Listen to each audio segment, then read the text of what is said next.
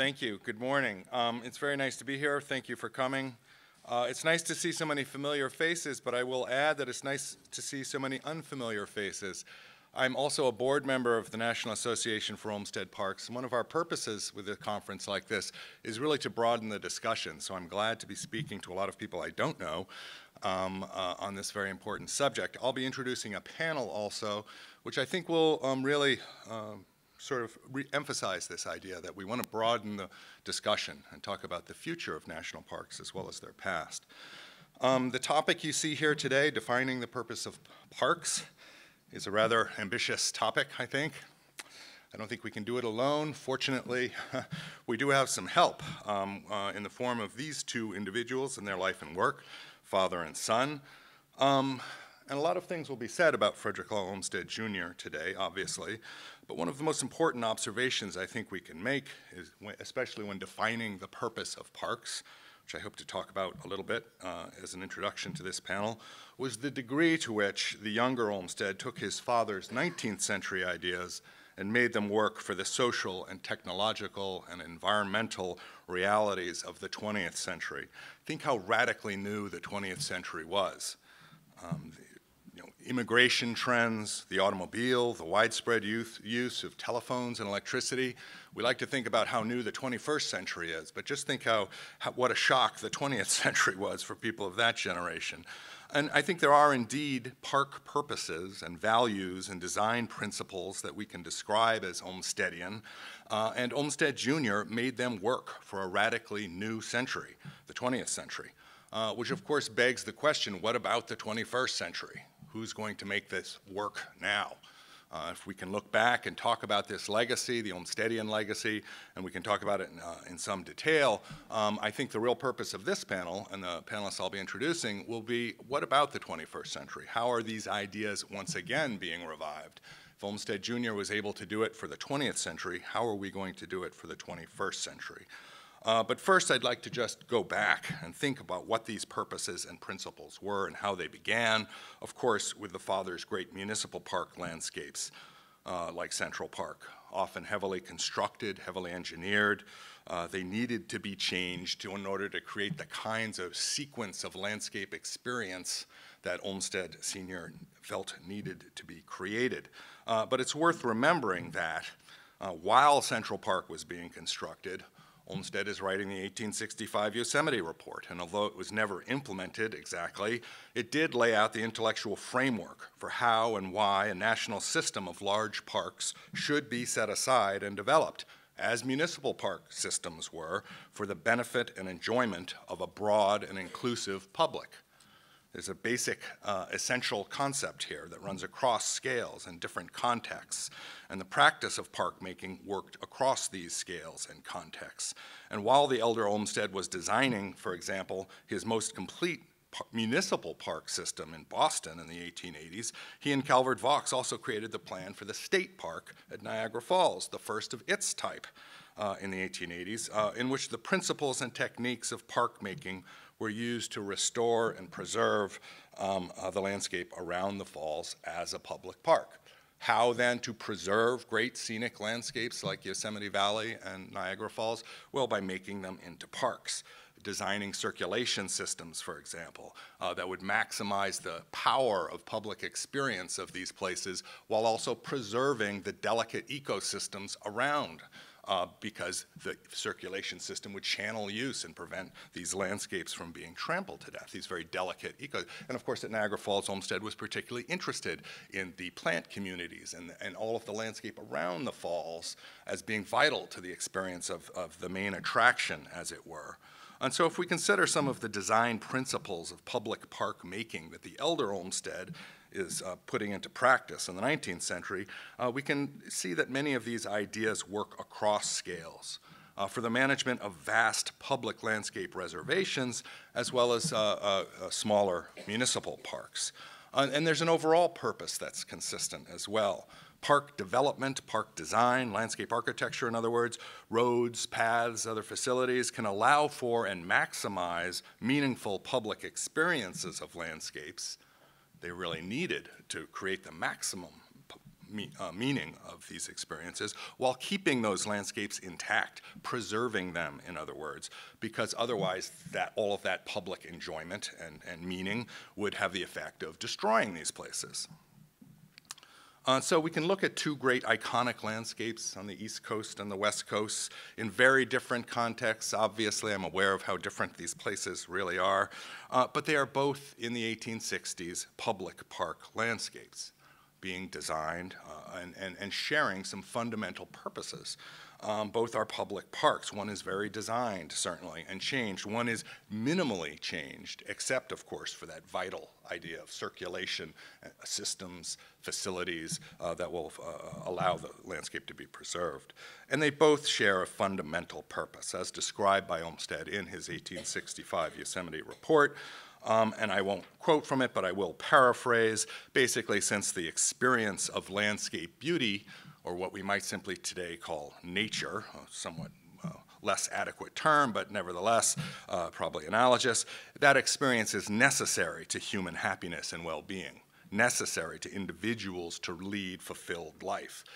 Therefore, for governments, it's nothing short of a duty to act and to acquire and develop systems of public parks to make these places, these experiences, available to the many and not monopolized by the few.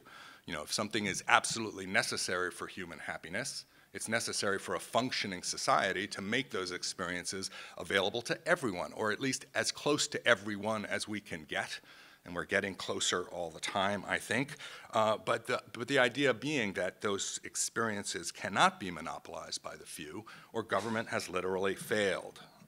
These are, these are, this makes parks vital to public health, in other words, in the broadest possible sense. Um, and it would be uh, at Yosemite, and in specifically in the conservation battle over the Hetch Hetchy Valley, in Yosemite National Park that would bring Olmsted Jr. into direct involvement as far as restating and revitalizing these ideals for the 20th century. The long battle that was lost, as you can see in the picture, uh, to dam the Hetch Hetchy, uh, drew Olmsted Jr. into this controversy, and of course he oppo opposed the dam. Uh, and in his written opposition in 1913, he drew heavily on his father's 1865 Yosemite report. He quoted it at length people think that report was lost or, or whatever, but it wasn't, certainly not to Olmsted Jr. He quotes from it, from it at length, and he prioritized the mandate of preservation as his father had, and although the battle was lost just a few years later in 1916, as Professor Devereux was just alluding to, the younger Olmsted drafted the portion of the NPS Organic Act which created the agency and which defined the purposes for U.S. national parks. And this is a pretty famous quote, so I will put it up. The fundamental purpose of the parks was, as we know, to conserve the scenery and the natural and historic objects and the wildlife therein, and to provide for the enjoyment of the same in such manner as will leave them unimpaired for the enjoyment of future generations. There are many park rangers who have this memorized, and they cannot tell you who wrote it, however. uh, the connections in this text back to his father's 1865 report and, his, and the general theory and practice of park making are manifest. I mean, I have the, you know, we have the documents as well, but even if you didn't, you could see where this is coming from. Um, and it was at Yosemite, through his role with the Yosemite Board of Expert Advisors and through his personal involvement uh, with people like Thomas Vint and Conrad Wirth, very important early Park Service officials, both landscape architects. Uh, but it's at Yosemite that Olmsted Jr., more than anyone, was responsible for the preservation of the view we see on the lower right, uh, we've been seeing all along uh, the famous view as you enter on Wawona Road and see the valley. Uh, and this view is pretty much uh, uh today as you would have seen it in the 1860s. The so-called Olmsted line keeps development, this is an informal designation referring to Olmsted Jr., but it keeps development in the east end of the valley uh, so that when you come in from the west at what was once called Discovery Point is now called the Tunnel Overlook. Uh, this is what you see, as you would have seen in the 1860s. Um, Elizabeth Goldstein is here. I saw her earlier, um, and she'll be talking more with her panel about state parks in California uh, and the 1929 State Park Plan, uh, which is contemporary, of course, to his Bartholomew, Olmsted and Bartholomew's Los Angeles Park System uh, plan. This one was implemented, though, and it was largely successful it also became the most important precedent for state park planning in U.S. history. Uh, it also was important to the national park system because after 1933, the Park Service became responsible for state park planning all over the country as part of, of course, Roosevelt's New Deal. Uh, and it was through state parks and the New Deal generally that Olmsted Jr., in part because of this California State Park Plan, in part because of his work in general, is again adapting and implementing his father's ideas from the 19th century uh, in the 20th century uh, tremendous influence this plan has on the Park Service's entire New Deal agenda. Um, and in a 1949 letter to the future NPS director, Conrad Wirth, this was when Conrad Wirth's father, Theodore Wirth, who was a famous landscape architect also, uh, uh, and, and, the Minneapolis Park uh, director, uh, died. Olmsted Jr. wrote Conrad Wirth comparing his father's life's work to Wirth's father's life work. And this is Olmsted the humanist. And I think this is a really important letter uh, uh, to get at the heart of what Olmsted is seeing for, uh, Olmsted Jr. is seeing uh, for the 20, for 20th century. Um, this idea that parks are above all important to human well-being. The people who use the parks are the point. You know, if we're not thinking about the people who use the parks and we're not thinking about how parks are making their lives better, then we're, you know, it's a sterile exercise. This is not to prioritize use over preservation, you know, in a contemporary sense at all. It's simply an effort to remember the true social purposes of preservation. It's not, it's not always done just for other species. Sometimes it's done for our species, and, and that is very much of an Olmstedian idea, I think, that's very much, uh, uh as Olmsted Jr. is expressing it for the 20th century. It's a philosophy that imbued the entire New Deal, the work of the Park Service and the Civilian Conservation Corps, of course, in particular, uh, but imagery like this from a Park Service uh, uh, uh National Outdoor Recreation Plan published in 1939 indicates the sense that there's this broad purposes of this overall park making project that's undertaken through the New Deal in the 1930s. This idea of conserving both human and natural resources together as mutually dependent, uh, as inseparable. You know, the fate of the American landscape, which of course is suffering environmentally from the Dust Bowl, from deforestation, from other disasters, uh, was inextricably linked to the uh, to, the, to the fate of a generation of people who are suffering from the economic disaster of the Great Depression. So this ideal of reclaiming was both uh, in, a, in the sense of natural resources and human resources. It's New Deal ideology to the core. It's all about park making, uh, and it can be traced to the influence of Frederick Law Olmsted Jr., and specifically to the reiteration of his father's ideas and values. Um, and so we can identify Olmstedian park values uh, as they were re-expressed and revived by Olmsted Jr. for the unprecedented challenges of the 20th century. If I were to try to do it in a single statement, I might simply uh, put it like this. Uh, parks are not merely amenities. They're not, you know, or any of the other cliches. They are actually vital and necessary to a healthy society in terms of public health and to a functioning democracy. This is, this is the core ideology of, that Olmsted Sr. passes on to Olmsted Jr. and is a core of, of the entire New Deal project uh, as it's implemented uh, largely through the influence of, of, officials at the National Park Services. The social purposes of public parks, I don't think, could be more profoundly construed and expressed uh, uh than they were by uh, Olmsted Jr. Um, but if, again, Olmsted Jr. revitalized park principles for the 20th century, that leaves the question of who's doing it for the 21st century. Uh, and this is the real topic of our first panel.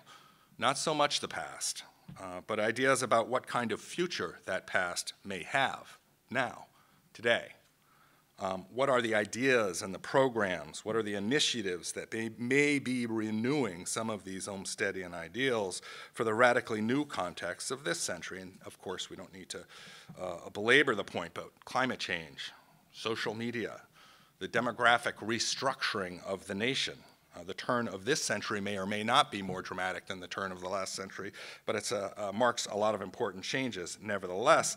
Uh, and if there are important ideas and practices relating to national parks that are worth holding on to, uh, again, to do that, Uh, these ideals must be reconceived, revived, re-expressed through programs uh, and ideas that will make these uh, ideals work in the 21st century. So this is my way of a brief introduction for our panel, uh, who will speak about some of these new initiatives, uh, specifically in programming and education. I don't think there's any area more important in thinking about how national parks work in the 21st century than the kind of outreach uh, that occurs through programming and education. And Dr. Milton Chen is here uh, uh, to talk about some of these initiatives. By the way, the full biographies of all the speakers are online for those of you who have tablets and so on, so I won't attempt to introduce everyone adequately. Uh, we're very pleased to have Dr. Chen here, one of the leaders in educational in innovation in the country, uh, and a member of the National Park Service Advisory Board, so he's working specifically with national parks as well. Um, Shaun Eyring is here to talk about new initiatives at the National Park Service in planning and design and again, engagement and outreach. Um, I think that will be a theme you will hear whenever people talk about the national park system in the 21st century. And Lucas St. Clair is here as well to talk about a new kind of national park that's being proposed uh, by, his, by him and his family's foundation uh, in northern Maine. Uh, and so the purpose of the panel then is to talk about the future, not just the past. Uh, and Dr. Chen, that's your cue.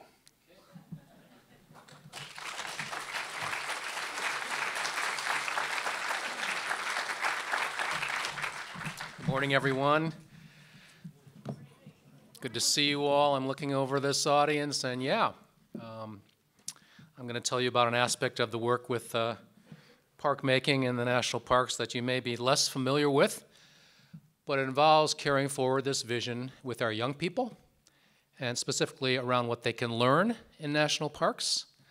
Um, you may be wondering how someone who worked for a foundation founded by filmmaker George Lucas got involved with the national parks and um, fulfilling the uh, urban park vision? And the answer is that I grew up in, in San Francisco. I, I, actually lived for the past 30 years in, in, San Francisco, and as we like to say in the Golden Gate National Parks, uh, we live in a national park. So through that work, I got involved with the Golden Gate National Parks Conservancy. I think some of you are familiar with their leading work here to advocate for national parks here in the Golden Gate and then uh, served on the Second Century Commission with my colleague Dr. Carolyn Finney uh, from Berkeley, whom you'll hear from later this afternoon. And um, both she and I have been serving uh, along with uh, 10 others on the NPS Advisory Board. I think many of you are familiar with the fact that Director Jon Jarvis has really emphasized education and the learning of young people as one of his four cornerstones for the national parks. He is a tremendous leader for this effort.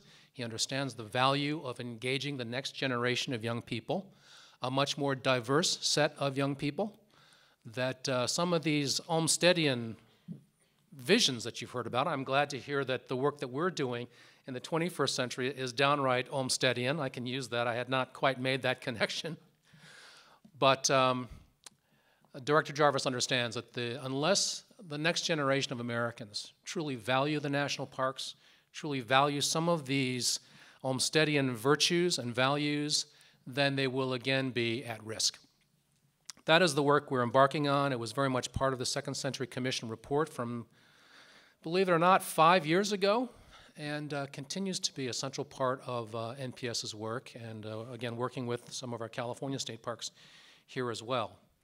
Uh, one indication of this uh, renewed interest in education and, and youth is that Director Jarvis has appointed the first ever NPS Associate Director for Education and Interpretation and volunteers nationally at the Washington office, and that's Julia Washburn, whom I think many of you are familiar with.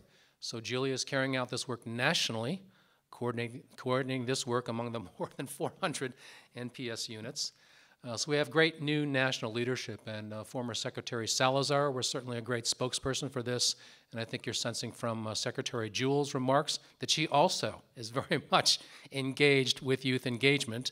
Uh, witness some of her most recent uh, announcements and um, partnerships with corporations to bring uh, young people into the parks. So I'm titling Learning in the 21st Century and the Future of the National Parks. Uh, just a few quick slides, and then I'd like to show you a, um, a segment from a video we've produced illustrating what some of this uh, actually looks like in the national parks. We are facing both challenges around conservation and preservation, but also, as I think many of you have noticed, in education. We have a tremendous um, problem with scientific and civic illiteracy in our nation amongst not only our adults, but certainly our children. We do a terrible job of teaching history and civics in our public schools. I, for one, wish that this audience here were doubled and that there were about 200 Stanford undergraduates as part of this gathering today because they need to hear what this, this conference is all about. Maybe in the future we can make sure that this happens to involve more young people, especially at, at locations where these conferences are. Um, one of my favorite examples of young people learning in the national parks is an article from the Stanford Magazine about three or four years ago um, this is kind of an atypical audience for me because usually in audiences I speak to, everyone has a tablet. Everyone has an iPad. Everyone's soaking up the Wi Fi. I hope some of you are doing that because you could find this article right now. And it's the story of sophomore college here at Stanford, where uh, another great uh, American historian, David Kennedy, here, uh, together with Nicole Ardoin, a professor of education, took about 15 Stanford undergraduates into the Grand Canyon in the fall before uh, the fall quarter starts. It is a transformative experience for our nation's best and brightest students. I can poke a little bit of fun at Stanford today. I went here as a graduate student. My daughter went here to college. Stanford, of course, views itself as the home of innovation. Uh, you know, the, the birthplace of Silicon Valley, the best and brightest students. Believe me, this, these Stanford sophomores were scared to go into nature. They had never been camping before, some of them. They were afraid of bugs and what it would be like to be in the Grand Canyon. So, to, the, to Stanford's credit, to, uh, to David Kennedy's credit, they took these undergraduates into the Grand Canyon for two weeks. Transformative experience. These kids came out not only knowing more about themselves, uh, being more uh, confident about themselves in nature, um, but also having a real practical idea of what water rights uh, are, are here in California. Some of them had a vague idea of becoming a lawyer, maybe an environmental lawyer, but they came out of those two weeks really understanding uh, the issue of water, uh, the Colorado River, arguably America's most important river. Uh, we can talk about that with the Easterners here, but certainly here in the West, Colorado River is very important. So, um, getting kids into these national parks can be a very important experience for them. We have this issue with scientific literacy, civic literacy. I won't say much about the teaching of civics and history in our schools, but uh, for the most part, it's done quite poorly. I do believe that the national parks represent then some of the very best places to learn about climate change, to learn about the environment, to learn about civics and history. We're in a new age of learning, and uh, you see some of those factors here. We're talking about um, kids learning anytime, anywhere digital learning anytime, anywhere, using devices to access information instantly, uh, connecting with their peers and with experts online, but importantly, getting back not just here on campus and staring at their iPads and their screens and their iPhones, but getting into authentic places. Again, I, I, wish that there was a semester where these Stanford undergraduates would visit places not only like the Grand Canyon, Yosemite, John Muir's home, uh, the wealth of national park sites and California uh, state parks that we have here. Hopefully I can convince some Stanford faculty to, uh, to do that. Out of school time accounts for a much higher percentage than in school time. So this is where we're trying to reinvent the American educational system, taking advantage of out of school time, afternoons, evenings, weekends, and summers to provide these sorts of transformative, authentic experiences. And that in fact, kids who are able to take advantage of out of school time, that these out of school experiences become important predictors of their academic achievement. I was looking at one study that showed that um, kids of middle class and, and wealthier families uh, benefit from about $8,000 per year spent by their families to do these out of school experiences. To take them to museums, to science centers, to do that iconic trip into the national parks during the summer. Um, so some of the programs I'm going to talk about today are trying to make up that gap, trying to provide these opportunities to young people, and again, a much more diverse group of young people, uh, whose families cannot, cannot afford $8,000 a year. We're looking at a new ecosystem of learning, very different from what it was, and looking into this audience, when we were in school. The chance to take online courses. I hope, again, I can convince some of you who are faculty to start teaching some online courses related to the national parks. The fact that information is always on 24 7, we can take advantage of this. And uh, the, the role of not just schools, but also the home learning environment, museums, libraries, and parks in this new ecosystem of learning. So as I've been saying, I think national parks can play a critical role for our young people. Uh, this comes as a, um, how shall I put it, uh, a, a, new thought to many policy folks and perhaps to many people in this audience today. But we know, uh, based on what we've been learning from middle school students on up who spend a week in the national parks, NatureBridge is one of the great partners for this, a residential program, an immersive program where kids spend a week living in a national park, whether it's uh, in Marin County or it's Yosemite. So what I'd like to do is show you a short video. Um, I work for George Lucas, and we believe in the power of images to communicate. Mr. Lucas once told me, you know, a picture is worth a thousand words. And I said, boy, you know, I wish I'd thought of that. That's, that's why you're George Lucas, and it's, it's true. So I'm going to show you maybe four minutes of uh, a video we put together about kids learning in the national parks. I want to know what it feels like to make a difference.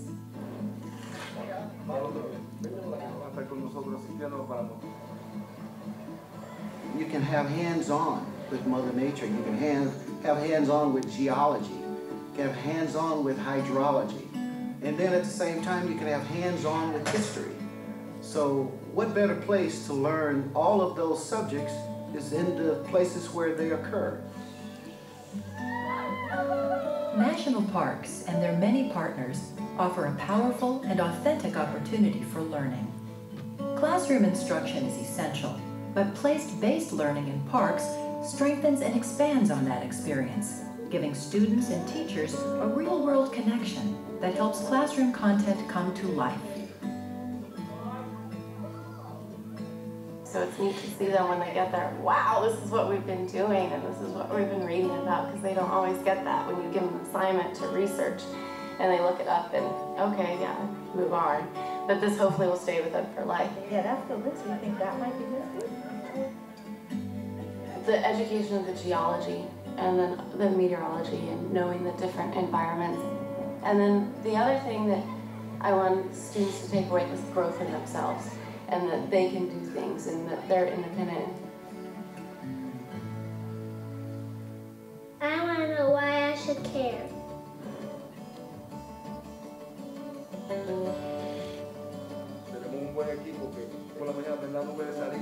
I want to be part of the history I've read about.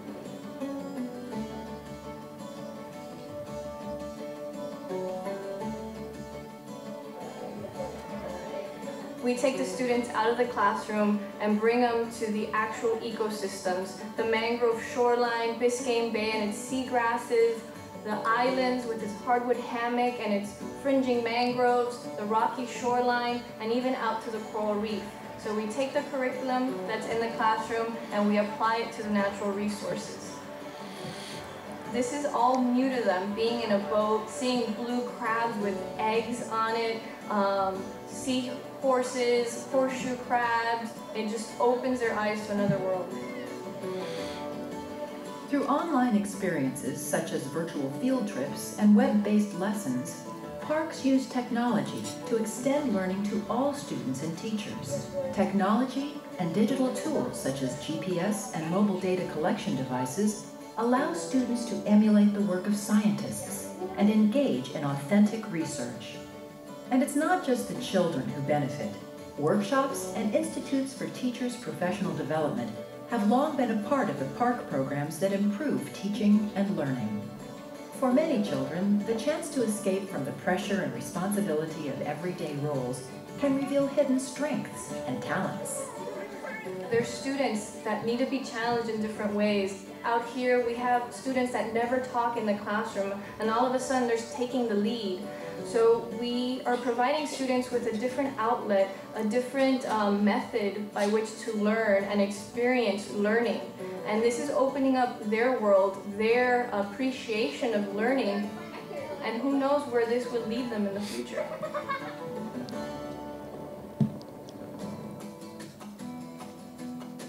Um, make up my own questions and find the answers out myself.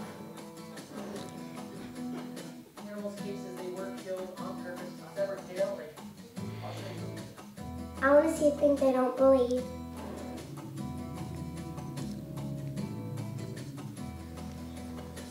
National parks are places where our youth learn to become contributing citizens and leaders. They are places where all of America's children can discover the past and learn to cherish the heritage that will determine their future. Through a broad range of educational services, including in-depth residential programs, junior ranger programs, and online experiences, the national parks have the potential to play an even greater role in ensuring that our youth gain the knowledge, skills, and values that will shape and transform their lives for the better. Well, in the interest of time, I'll uh, move along, but I think you get a sense of the range of educational programs for young people. Uh, I like to say this should start as early as possible, certainly in the middle school years. And uh, as we move towards the centennial of the national parks in 2016, you'll see a lot more uh, public awareness as we begin to roll out a communications campaign about the second century and also about uh, the role of young people learning in the national parks. Um, I will close just by saying that, um, you know, there's a saying, and, I- and I don't know the, the provenance of it. Many of you are architects or landscape architects uh, may know it, but uh, it may have been Winston Churchill who said, first people build buildings, and then buildings build people. Uh, I like to say that first people build parks, and then parks can help build people. And that's what this is all about. Um, this is about helping to build independent learners, citizens uh, in this country who understand the history, uh, the importance of conservation, uh, the importance of cities as places where, of course, many more millions are moving, but the importance of nature and experience in nature for all of our citizens, some of the ideas that were, that were talked about this morning. Uh, I do believe that uh, the future of our democracy has a lot to do with these experiences, raising a next generation of young people who understand what it means to be a democracy, why we set, apart, uh, set aside these most important, most precious, most significant places in our nation for all to enjoy. So there's a lot to be learned through the national parks, and um, we're making some progress on this. We're also embarking on some additional fundraising, since uh, money has always been uh, an issue in, in park making. Uh, as we roll out towards uh, the 2016 centennial, you'll see um, more publicity about the importance of citizens contributing back and supporting this effort, especially around engagement of young people in our national parks. So thank you very much. Good morning. My name is Shaun Eyring, and although my title in the brochure says I am Chief of Resource Planning and Compliance in um, the National Park Service's Northeast region, I'm a landscape architect. And I have spent my career, or most of my career, um, working in the Cultural Landscape Program in the National Park Service. And so I have a real passion for the intersection of design and historic preservation. Um, Ethan asked me to um, talk about an initiative that's launched about five years ago and is continuing on today called Designing the Parks. And it's, a, it's an initiative to really rethink the role of design in a 21st century national park. It's very much inspired by the early Olmsted and early um, designers of the national park system, their philosophies of what design could be and park making as Ethan kind of alluded to, that um, to Frederick Law Olmsted Jr., there really wasn't any inherent contradiction in preserving a place through its thoughtful development. Um, and it was really in every way compatible with the new National Park System's mission to preserve natural and cultural resources and make them available for future generations. The Park Service had a vital and recognized design team that grew quite large through the 30s and 40s. Landscape architects and engineers were key as the National Park Service modernized and developed from between World War I and II, designing roads, campgrounds, administrative villages, residential complexes, whole master plans, among other things. Well planned and designed landscapes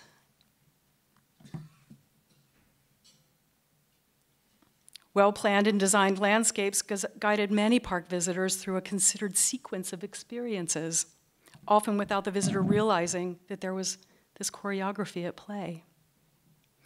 As Ethan very eloquently um, frames it in his wonderful book, Wilderness by Design, the emotional enjoyment achieved through the appreciation of landscape beauty was not an inevitable or haphazard affair.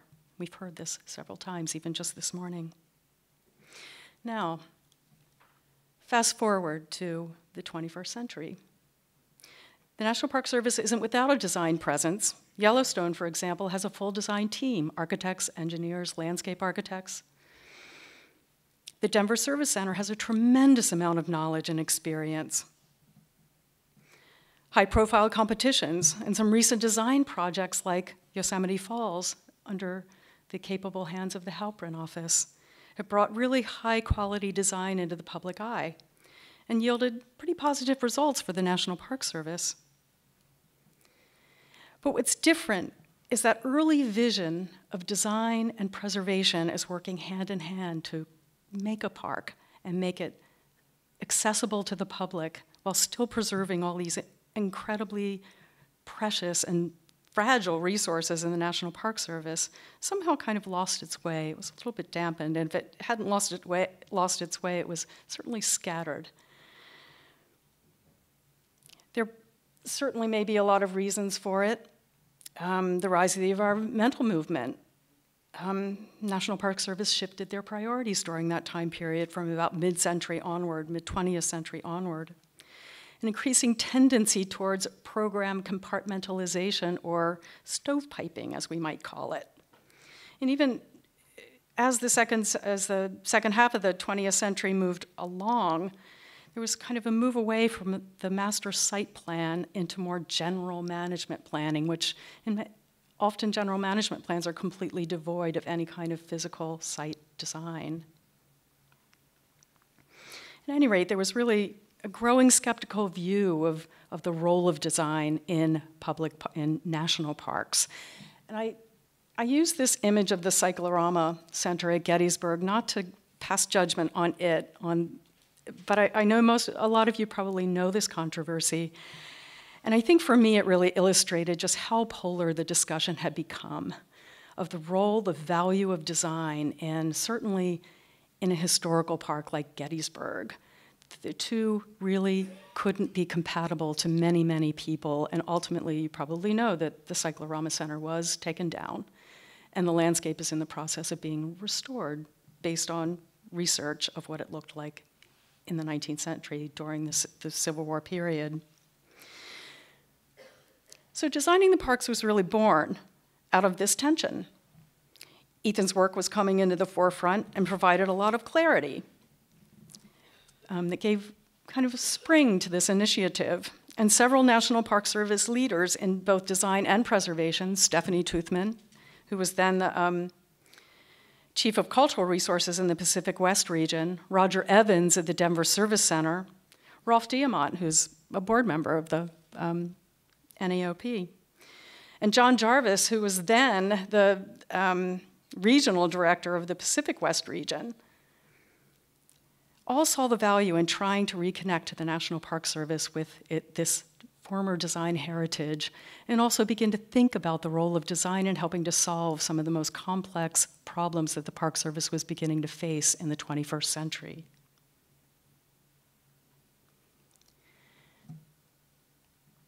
Designing the Parks was launched as a two part bi-coastal conference. I see that there's um, kind of a trend towards two part conferences bicoastal certainly was uh, kind of thinking about the eastern and western um, offices of design and construction in the National Park Service, which was part of the way it was um, structured historically. Part one was to look at the history of park planning and design, and that was held in Charlottesville, Virginia in May of 2008. And part two focused on the present and future of park planning and design, and that was held in Cavallo Point in San Francisco in December of 2008.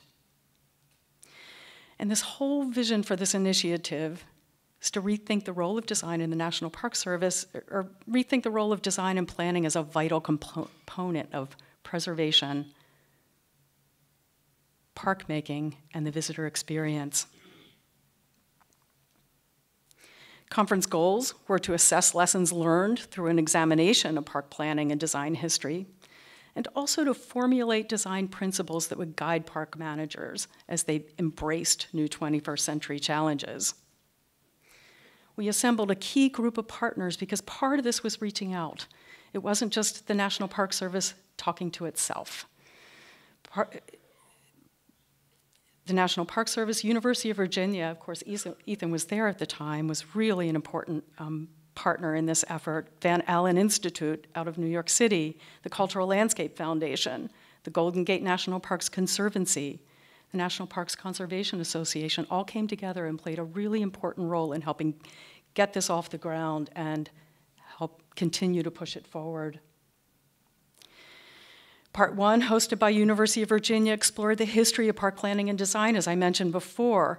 But the, but the symposium was graphically recorded and moderated, and we took the results of this conference to forward to inform designing the parks part two, which was held at Cavallo Point, and just an amazing environment to begin to think about um, what it means to come up with design principles for a 21st century national park. We had about 250 public, private, academic, students all come together to begin to think about what design principles would look like.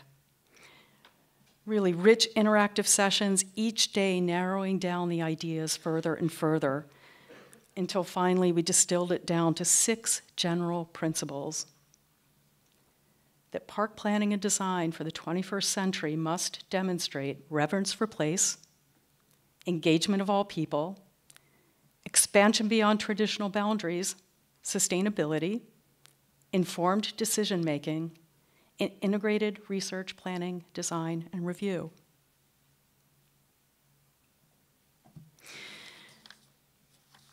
We also came up with at least a starting point for the, like an initial mission, if you will, for how the Designing the Parks initiative would move forward following this conference.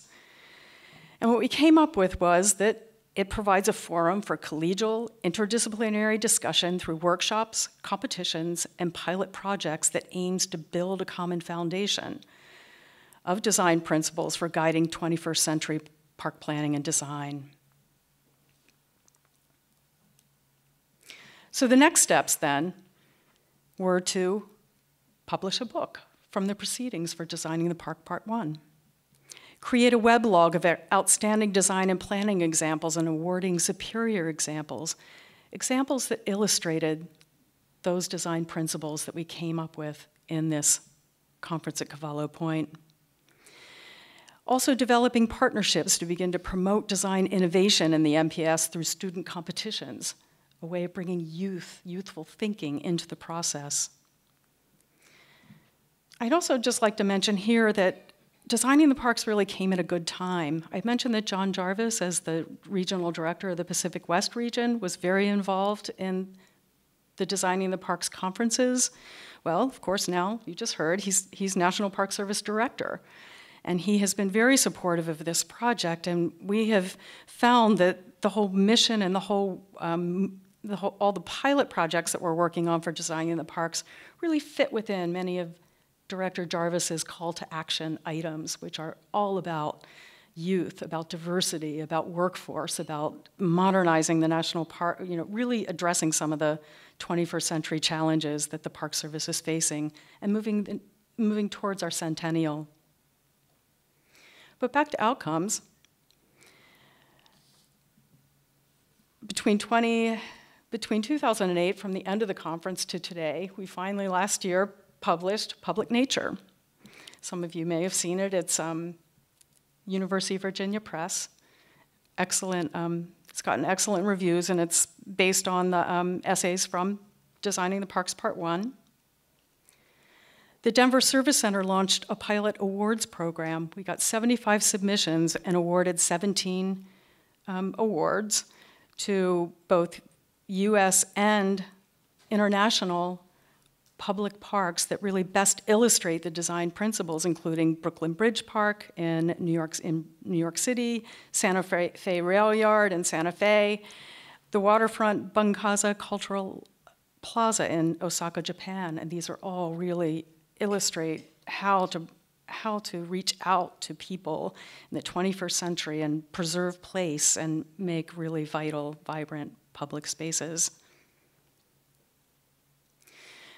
We've developed a really rich partnership with the Van Alen Institute in, based in New York, who is a 100-year-old nonprofit foundation whose mission is design education and innovation and they have helped us launch two student competitions to reimagine America's national parks for the 21st century.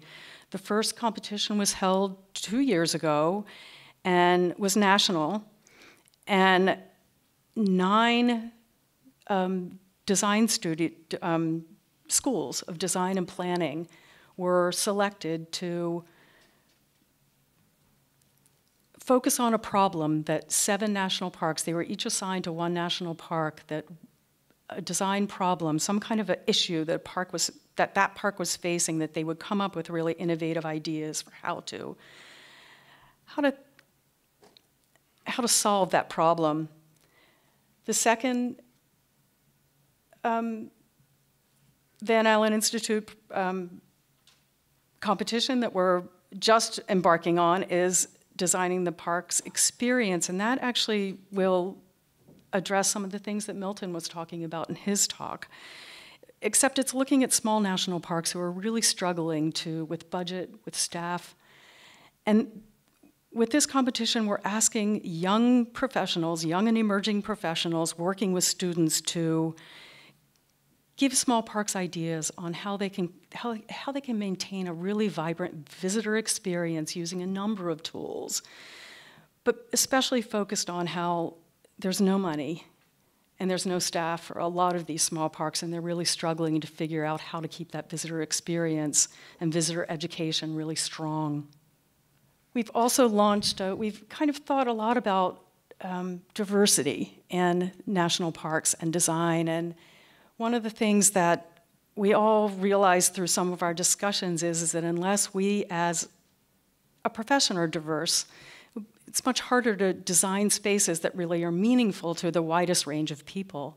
So we are, have also launched a Designing the Parks mentoring internship where we're partnering or pairing a graduate student of design, an undergraduate student of design, and two high school students reaching all the way down to the high school level working together on projects in national parks. We've done this for two years in a row, one at Independence National Historical Park, and last year at Peddocks Island, and they've both been really successful, and the students have done a great job. It's been a good way of reaching out to a wide variety of young people.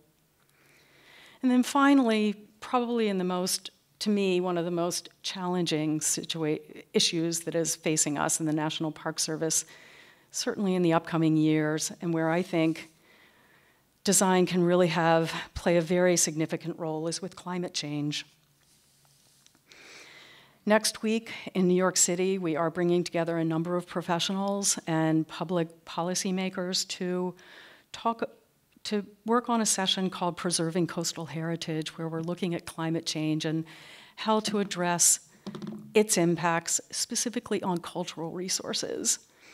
And this session will look at a planning process for the kinds of things we really need to think about specifically for historic resources in national parks.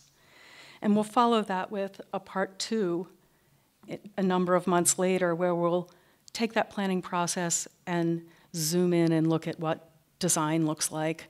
What are some real design solutions that can address increased landscape resiliency, really help some of our resources survive um, preserve our resources in the face of some of these really challenging times. Um, as you can see, the case studies and issues that we'll be dealing with are from New York City, have been hammered really hard by Hurricane Sandy, and there's certainly only thoughts that more of this is to come. So as Olmsted introduced in an early National Park Service a way of thinking about design and its role in carrying out the National Park Service mission, we're really attempting to do that again with designing the parks and really through these pilot projects raise the interest, raise the importance of considering thoughtful site planning and design as a really vital component of preserve, preservation, conservation, and access in our 20th century, 21st century national parks. Thank you. Good morning. My name is Lucas St. Clair, and I'm the president of our family's private operating foundation, which is called Elliottsville Plantation, based in Portland, Maine. And uh, what I'm going to speak to you about this morning is um, you know, prior to the opportunity of designing parks, they have to be created. And in the 21st century, that can be quite a challenge, uh, one that I'm in the midst of uh, at the moment. And defining the purpose of the parks is something that I spend almost all of my time doing, uh, making sure that people understand that beyond these iconic landscapes, they are uh, vital for education, for um, resilience to global, global warming, environmental issues that we're facing, and interpreting the cultural heritage of a region, sometimes that, that really has gone unnoticed or unknown. We in Maine are fortunate to have an incredible forest. Maine is the most um, forested state in the United States, and the northern part of Maine is 12 million acres on, of uninterrupted northern hardwood and boreal forest. It's a pretty amazing place. Um, and it's been owned up until the 1970s by private landowners. Not a bit of it is public. Um, the land uh, was kept intact by these landowners that also owned the paper and pulp mills that existed there. And the trees were, were harvested and brought to the mills where we, we made uh, newsprint and phone books and, um, and pulp. Well, the industry of pulp and paper manufacturing has, has changed drastically. And um, I have a three year old daughter who I'm quite confident will not know what a phone book is. So the days of, of, of making, a, making that, uh, and especially making it in northern Maine, are gone. At one point, the East Millinocket Mill, which is sort of at the heart of all of this, is, um, was the largest paper mill in the world, and today it's closed. So as these paper companies closed, they began to sell off all of the land, and the 12 million acres that existed in northern Maine went on the market. And over the course of 20 years, um, the land changed hands, and from about 10 landowners to now well over 150. In that process, uh, REITs and TIMOs, private equity companies, purchased some of it, and conservation interests purchased some of it as well, including our foundation. We now own about 150,000 acres in, in sort of central Maine, next to Baxter State Park in the northern terminus of the Appalachian Trail, which is also a, a national park unit. Um, despite this great conservation effort that has gone on over the last 20 years in protecting some amazing landscape, the region has declined uh, in, in population and personal income, and there's been uh, exodus from, from the region. And so we started thinking about it internally as our family and our foundation is this conservation that we're trying to do, who is it for? We started thinking conservation for whom? How can these regions, these communities that live around this great northern forest and this incredible natural resource benefit from it while still doing conservation? And so we began to think about the national parks and how national parks, uh, beyond the conservation implications and the wonderful history and education that they provide, they also provide tremendous economic benefits. Um, benefits um, to the point of for every dollar invested in the national parks, $10 is returned to the local communities, which is a pretty significant investment to, to think about. So we set about trying to create a park. And um, in uh, the early 2000s, uh, my mother, who was running the foundation at the time, pitched the idea. And in a place that has, uh, in a state that has less than 5% public land and has a 150-year-old tradition of harvesting timber and making paper, the idea of the federal government coming in and owning land was not a, uh, not a happy uh, thought for many, many people. And it was essentially running into a buzzsaw. It was um, an idea that was hit with tremendous resistance, and uh, we sort of had to step back and think, okay, how, how are we going to really, really do this? So we knew we had a beautiful resource, um, but we knew that the way that we were going about convincing people of it was, um, was wrong. And in the fall of 2011, after many attempts of public outreach and grassroots effort to describe the park and the benefits for the region, uh, we had the opportunity to sit down with former Secretary Salazar and with uh, Director Jarvis. And they sat down with us and described what it was like to create a park in the 21st century. And Secretary Salazar had a great analogy. He said, this, think of it as if this national park that you'd like is running for US Senate. And think about what goes on in a Senate campaign and all of the different aspects of that campaign and the intense work and investment that has to go into it. And that is not at all the way we were approaching it, and something that seemed like a really fresh and unique and potentially successful road path forward. It was at that moment that my mom retired and said, I have no interest at this, running a campaign like this at all, um, and turned over the full time responsibility of the foundation to me. And um, in the last three years, that's exactly what we've, we've set out to do, using very traditional tool, campaign tools. We hired campaign consultants, we hired pollsters and economic, um, commissioned economic studies. Um, we have lobbyists that are working for us in DC. We've partnered with conservation NGOs in Maine and working on a grassroots and grass tops campaign that's been waging uh, now for, um, for three years. Um, this is a picture of the landscape, and, and much of northern Maine looks like this. Um, it's, it's a rare uh, opportunity, especially east of the Mississippi, to see a landscape without development. Um, despite being a very remote and, and wild feeling place, it is uh, a, within a day's drive to 25% of the population of the United States. So we realized that a lot of people could come here. And uh, Acadia National Park, which is our neighbor uh, on the coast of Maine, gets about two and a half million visitors every year. And most of those visitors come between May and October. So um, directing people through that resource is a very, very important piece of, um, of the work that we're doing. This is a picture of uh, Mount Katahdin and the east branch of the Penobscot. Mount Katahdin is the northern terminus of the Appalachian Trail and is protected within a state park. Uh, one of our governors, Percival Baxter, uh, purchased land from the state of Maine and from some of these timber companies because there was very little timber up there uh, above treeland. They, they sold the land. Um, and he protected 210,000 acres as, as one of the crown jewels of Maine in a state park. Um, the east branch of the Penobscot is the headwaters to the Penobscot River system, the watershed that drains three quarters of the state of Maine, a very significant um, river system that flows into Penobscot Bay. There is another shot of Mount Katahdin. As you can see, most of it treeless at the, at the top. It's, it's uh, 10 feet shy of a mile high and the highest point in Maine. And the, the, the wilderness aspect of this park is really unique um, because it is located so close to so many people.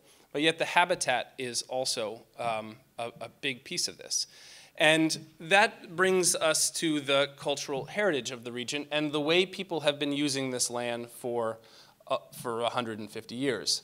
Um, the sportsman tradition is, is, very, um, is a very real part of the landscape of northern Maine. And hunting, and um, hunting especially, is, is a big piece of this. And the National Park Service, um, under the Organic Act, does not allow hunting. And so we've started to think about how can we incorporate the traditional uses of a region and really a big piece of the cultural heritage of the region into a unique, uh, a, a, unique park. And what would that look like? And so we started digging through um, authorizing language for parks uh, around the country and spent a lot of time looking at ANILCA, uh, the, the Alaska Lands Act, and how they incorporated a, Maine is very much like Alaska. Uh, it's Alaska of the East. Things are a bit smaller, um, but we have this sort of fierce independence and um, feel like there is the, there's Maine and then there's the rest of the country. And um, so because of that, a lot of the language that's used in the Alaska Lands Act is, is relevant to, to the people of Maine. And we've settled um, after about two and a half years of, of outreach into the community on, on creating a two, two park unit, um, very much like they've done in Alaska, creating a, a park with an adjacent preserve. Um, the language preserve doesn't resonate in Maine. It sounds like you're trying to preserve it. And um, so we've chosen to use a national recreation area and creating a multi-park unit, um, a national park with an adjacent recreation area. And in the recreation area, incorporating authorizing language that would allow for hunting and for some snowmobiling and some of the, the uses that have been going on there for uh, the last, not snowmobiling, but certainly hunting for the last hundred years and then using those uses to in, in, in, interpret some of the history. Uh, this is where Teddy Roosevelt, when he was a young man, as a kind of scrawny asthmatic, left New York City and became a man. In, on his, um, as he was getting close to death in 1919, he wrote an essay uh, to celebrate Maine's centennial called My Debt to Maine. And it was about him coming here to this exact region, climbing Katahdin for the first time, shooting bear and moose in the woods, and realizing what it meant to be an outdoorsman and the influence that Maine and the landscape had on him.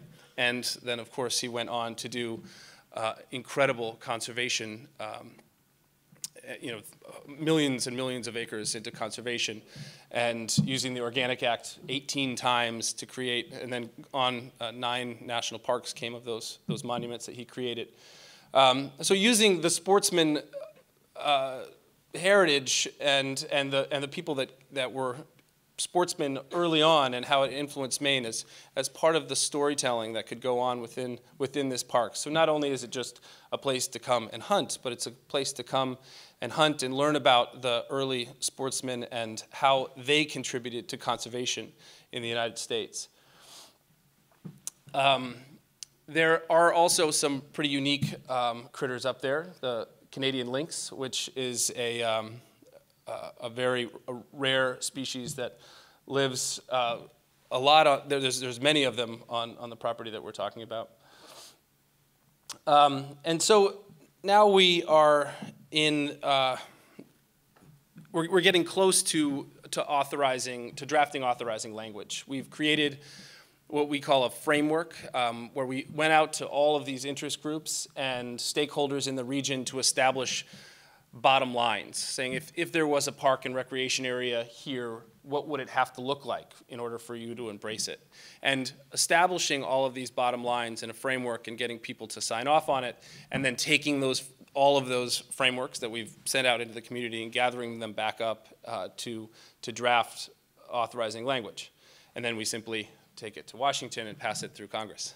So um, we, we obviously have some very heavy lifting in front of us in order to do that. Um, but there is a great excitement around the centennial and the potential for a centennial bill and having some lands aspect, a lands bill aspect of that. Um, we've been working very closely with DOI and the Park Service so they, they know of our efforts and um, we are hopefully going to have this finished um, you know, certainly in my lifetime. and I believe uh, that's, that's it. The question I thought we could start with was to ask all of you, basically, what, what is the future of the past? You know, what about Olmsted Junior's life and work do you think remains relevant to the kinds of projects and programs that you're describing in education and outreach? Um, in designing the parks uh, and, in and in new park proposals. Um, so I thought we could start just by asking each of you maybe to try to reflect on uh, the legacy of Olmsted Junior and how it may or may not be relevant to what you're doing now. Sure, I, I guess I, I, can start. Um, when I what, I have realized recently is the best advocate for this park plan that I'm working on is the land itself. Um, and the best tool that I have for advocacy is a 15 passenger van that I can fill up with people and take into the landscape to see. And as I bring people there and seeing them have sort of these epiphanies about what the landscape looks like, realizing how incredibly important it is to have the roads turn in the right direction and have the, the view unfold at the correct moment. And realizing that there are some great minds that have gone into thinking about that over you know, 100 and, and 100 plus years and, and how important the design element is. It's, it's been a profound thing to think about, um, and, and it's been fascinating to be here in the last day listening to, to those examples. Well, I'll follow on. Um, I think that just designing the parks, the whole basis for it was really drawing from the Olmstedian vision of really thinking about how design can really be part and parcel of preserving natural and cultural resources, that it really was the way to make these places accessible. And, I, and, and for designing the parks, we're really continuing that. But one place where I really see it being absolutely really put to the test is, um, is with the climate change and the impacts that climate change is already showing to have, certainly on many of the national parks that were hit by Hurricane Sandy, just for one, but that's not the only place by any means. And I think more than any other time, we are going to have to think about the intersection between nature and culture in a way that we just haven't had to before. And I think that's where some of the Olmsted vi- vision is going to really, really serve us well. And I hope that through some of our Designing the Parks pilot projects, we'll really be able to show that and um, show how design can really help um, move parks forward as they really struggle with these challenging issues. And, and for me, it's really connecting uh, parks to people. It was wonderful to uh, hear of the letter that uh, um, Olmsted Jr. wrote to the director of the NPS uh, back then, uh, that the, both of their fathers felt strongly about this connection of, of parks to people and making that connection in a new way. Um, there are real substantial obstacles to doing this related to just practical things around transportation and time uh, finding the time for young people to have these sort of experiences and getting them into those 15 passenger buses. Um, so uh, that's some of the very practical things we're working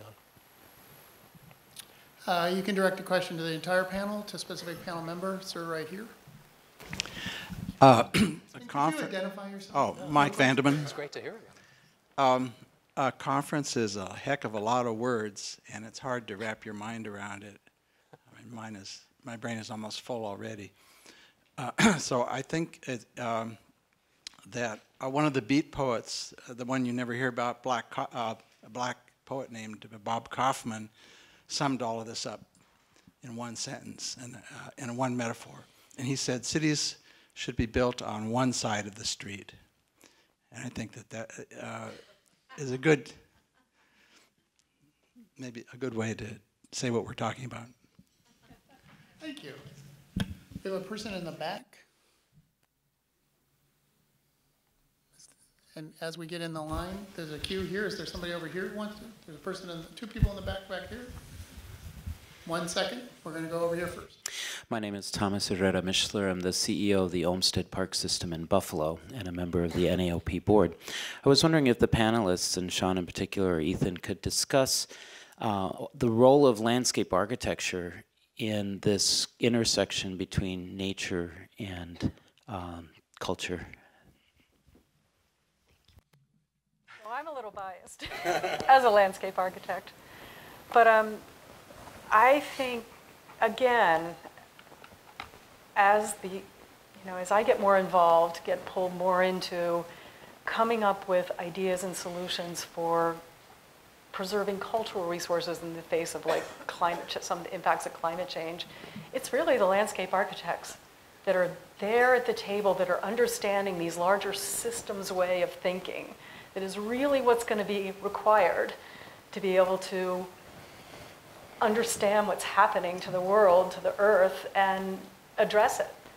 And I, I'm seeing that more and more, certainly outside of the National Park Service, in the private sector of landscape architecture.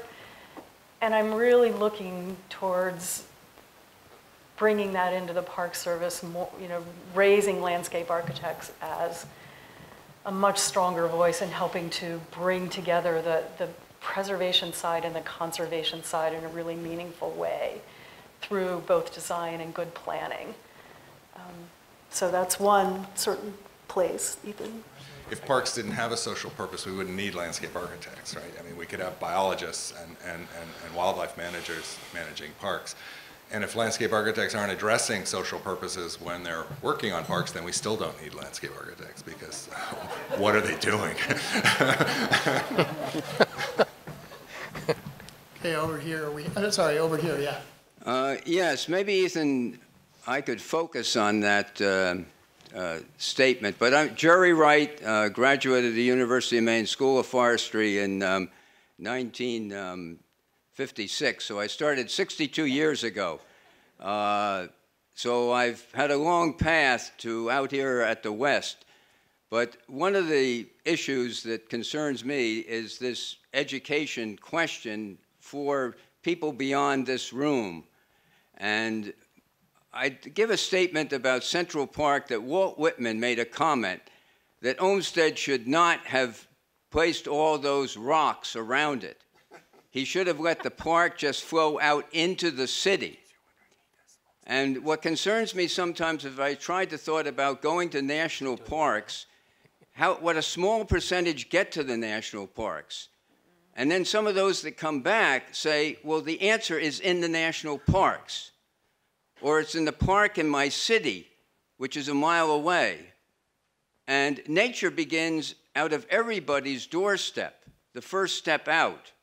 So I do think if we're thinking about the 21st century, we should have a different approach, and that nature is around us throughout the entire city.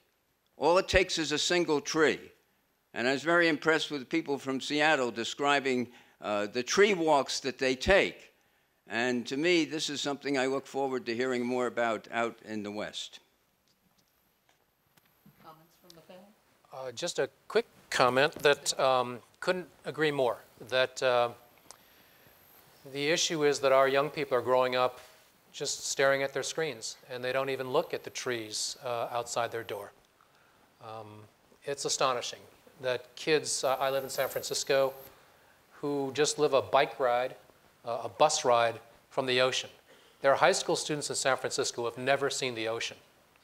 Somehow, in 17 or 18 years, no one, including themselves, their parents, their teachers, have ever seen fit to go there. Um, this is not unusual, by the way. There are many, many young people in your communities who have not visited some of the places that you know and love. So, in the work with the national parks, we not only want them to visit the national parks that they can, if they are nearby, but also uh, to bring that knowledge home, to start with the connection to your own uh, city parks, your own state parks. So, the partnerships that are being created around that are very important. Uh, my name is Margot Higgins, and I'm a PhD candidate at UC Berkeley. I work with Carolyn. And I work on um, Wrangell St. Elias Park, very broadly speaking, looking at how ANILCA has played out there. Um, and I have concerns in that particular place about the very um, static focus on the mining era as um, an example of the human history in that place that is the dynamic nature human interaction. And so this question is mostly for Lucas. I'm curious about um, the, the language that you have drawn on from ANILCA, how that's been useful specifically, and also um, any concerns that you have about limiting the history to that 100 um, year history and um, the current living history of sport hunters in that area. Um, I think there's a lot of promise in that, and I also think there are some limitations. Yeah, I, I completely agree. Um, the main piece of the legislation that we're looking at is giving preferential treatment to guides, outfitters, and concessionaires. Um, the landscape of northern Maine is really, um, it, it's very, um, it, people that work in it are very passionate about it and feel like uh, they should have the right to be able to continue to guide and, and um, have outfitters uh, working on, on the land and, and, give preferential treatment to Mainers. Um, and the idea of having hunting and uh, in, in places uh, is important, but um, it, it certainly is a concern about you know, how, how it plays out over the course of, you know, what is it like in 2000, or in 2100 when, we're all long gone? And um, how is the habitat protected and uh, the, the language is, is not yet drafted, and we're still looking very carefully at, at um, of, of the 401 park units, 80 of them allow hunting. And so we're looking at all of them and saying which ones are successful and which ones aren't and for what reasons. Um, and, and motorized use is a huge concern of mine. Allowing, allowing snowmobiling it is very important for the local community. It, it, it brings in $400 million into the local economy in Penobscot County, and so not allowing it would, would be a deal breaker. But I recognize that um, the snowmobiles are contributing to um, a, a, lot of harm, and, and so managing that in a way so it doesn't become, doesn't get overrun is a, is a, is a big concern. So it's still very much in the planning stages, but um, something that we're, we're thinking about really, really carefully. And also I, another unit that I think is really interesting is Marsh Billings in Vermont and how um, they, they use timber harvesting as, as a way to talk about a renewable resource and when, uh, when harvested correctly and sustainably, it can be an amazing thing. Um, and using it more as an exhibition rather than a industrial forest. And th that striking that balance, uh, they do well in, in Marsh Billings and ho hoping to create and strike that same balance in northern Maine. I think right down here, one of these, there, there are a couple of you right there. Hello, my name is Trisha Bastian. I live right near Prospect Park in Brooklyn. I came in last night, and I really thank all of you for this opportunity. Prospect Park, I've lived there more than half my life now, and it has changed. It, there's a the Central Park Conservancy, and there's the Prospect Park Alliance. And I've been very concerned with just the feet on the ground that I've seen in Prospect Park with the Alliance. They did things like they just put in a multi-million dollar skating center that effectively destroys the vista of the lake. Now you can see exactly how small it is. it doesn't. It looks at this point like a truck stop gas station from certain areas, like it's a double decker thing. And meanwhile, they're allowing some of the beautiful things to decay. There's a Victorian thing with, um, I don't even know what structure, like a gazebo, it's metal, the concert pavilion. They did restore some of it, but it's very ham-fisted. There's a lot of like it's a beautiful thing. But for people who are walking their dogs or just going there, there's a huge, um, the park rangers do not enforce. There's barbecuing going on to the point where you joggers can't jog during the summertime because it's so thick. And rather than using it as an education, I have a collection. I'm working on a huge um, sculpture of just found fishing line and murals and tackle. And I've also, because of all the erosion, I found some amazing artifacts, you know, just with my eyes. And like, I, do you have um, campaign buttons? Like, I am lucky enough to vacation in Maine, and I think it's fantastic what you're doing. And I've also been lucky or unlucky enough to live in Texas, and I'd always considered the Maine sportsmen to be a little more sportsmanlike than they are, say, in Texas. So that kind of distresses me. but the one thing that I wanted to bring up, and I couldn't access my iPad, is there's a sportsman bill being in Congress right now that is allowing hunting in major in national parks, and I've heard hardly anything of it. Does anyone here know about this? It's like a tremendously huge, huge threat to all of the park systems in America, and it's just sort of slipping under the radar. More than guns. It's like the more you look at it, and I've just recently become aware of it, and I can look it up later and, and let you know about it. It's it's frightening, but what about the uh, getting off the phone? Uh, the Silicon Valley. What about the the buses being used that are taking people to work then bringing kids to, um, to the parks. Thank you. I'm a visitor, although I've lived in Los Angeles for some 30 years. Um, Moved up to Pasco, where my grandchildren are. I'm a retired landscape architect. We're growing fast. We got 90 people a day walking up uh, Little Beaver Mountain. We've outgrown the facility. And the neighbors next north of us are developing vineyards in a really big way, and they closed out all the hikers from walking the ridge trails until they discovered that hikers were thirsty and wanted wine. And then they extended the access to those trails into the growing suburbs at the base of the mountains and discovered that people were happier buying houses along those trails. Not always the drunk property owner on the river who wants the college kids to go away. Unexpected opportunities. At 20% a year, we're going to double our size in five years. It's kind of impressive.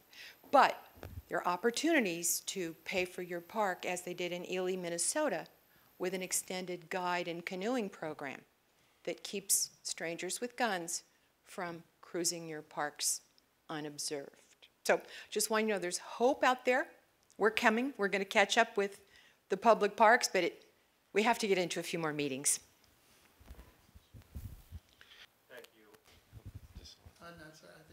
Check, check. There you go. Um, I have a question uh, for the panel, and that is the role of philanthropy. We have two nonprofit representatives here, and academic and uh, professional park. But the, early on in the park system, I'm, you're going to be the young Rockefeller, um, but the role of philanthropy has always been a key element in all parks.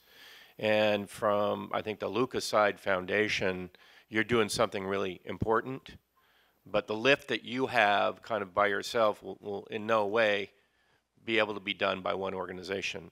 Where are the zillionaires coming from here getting involved in getting kids out to parks in, in, in the national park movement?